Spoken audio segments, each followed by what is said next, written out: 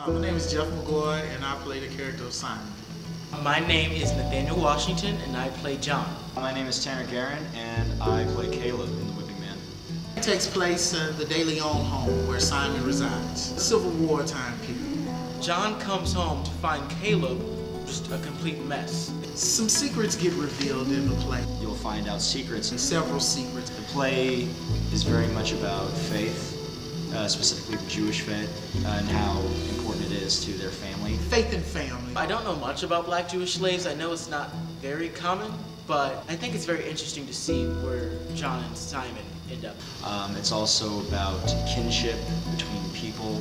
This has been a very great experience. I've never played such a, an in-depth character before with as much emotion and rage, so it's great. I, I will admit I've never done such a powerful play as this before, and yeah, I'm definitely learning a lot from it.